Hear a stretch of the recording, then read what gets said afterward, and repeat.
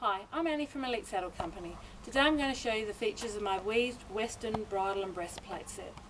This set is made from a good quality brown soft flexible leather as you can see. It has a weave pattern over the entire bridle as well as breastplate. The bridle has a nice wide brow band. It comes with silver carved buckles on it and to connect your bit to your bridle it has Chicago screws.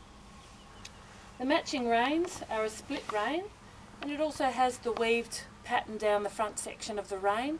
This is also a double thickness in the front section for strength. The breastplate on this uh, bridle set is a shaped breastplate. It also has the weave pattern on it to match. It has carved rings and stainless steel fittings to connect to your saddle.